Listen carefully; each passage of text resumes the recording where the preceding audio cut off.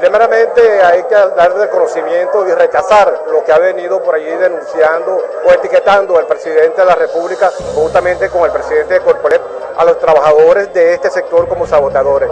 En el caso específico del día de ayer, donde se suscitó una falla, cuando tuvimos un lapso de tiempo bastante, bastante largo fuera de servicio de la subestación Manzanares, eh, en el día de ayer se procedió esta falla, lamentablemente estaban talando, estaban quemando, y sacaron fuera de servicio, visto la quema que este, sucedió a la línea de 115, se vinieron una línea abajo de 115 y salió fuera de servicio la subestación Manzanares.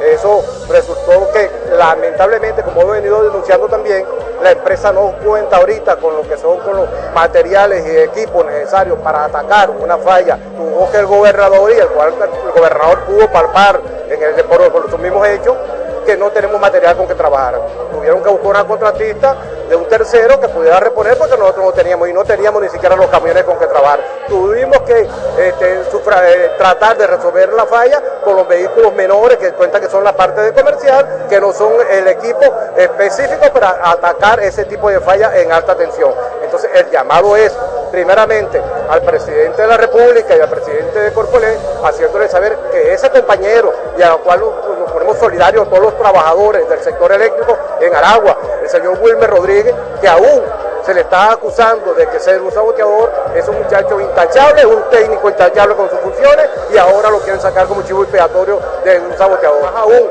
la empresa está operativa como lo manifestamos hace poco, porque nuestros trabajadores son los que sufragamos la gasolina, reparamos vehículos, eh, compramos materiales y no tenemos otro que el patrono, que es el Estado, se nos niega a entregarnos estos materiales y estos equipos. Aún más, recuerde, señor presidente, que tenemos dos años que no discutimos contrato colectivo y tenemos pasivos laborales desde el año 2009 con la convención colectiva que se sufragó el 1 de agosto de 2009. Es necesario que se haga un racionamiento, pero debe también la empresa pasar el día a día lo que son los racionamientos, por cuanto en, este, en esta estación de, o época del año, cuando calienta la atmósfera, es cuando se produce el calentamiento también de los, de los, de los conductores nuestros nuestras subestaciones, nuestros transformadores de potencia están ya al máximo, al tope, y por supuesto tenemos que entrar en racionamiento porque lo que es la solución que tenía que estar lista para el año 2010, hasta el momento no sabemos para cuándo estará lista, que es la, la subestación, la termoeléctrica del Antonio José de Sucre, que se está construyendo por la, por autopista Antonio José de Sucre. Nosotros lo que sabemos es que ha entrado más de 15 mil millones de dólares a la empresa, tanto para compra de materiales de equipo como para pago de pasivos laborales, y aún así no sabemos porque las cuentas no están claras dentro de lo que es el sector eléctrico, no podemos llegar más allá porque se nos cierran las puertas para tener conocimiento de dónde está ese dinero que se ha entregado para que se invierta en el sector y aún así sabemos que la, la vueltosa no está lista, la termoeléctrica no está lista y en consecuencia eso va a producir que nosotros continuemos con el racionamiento que ellos le dan a la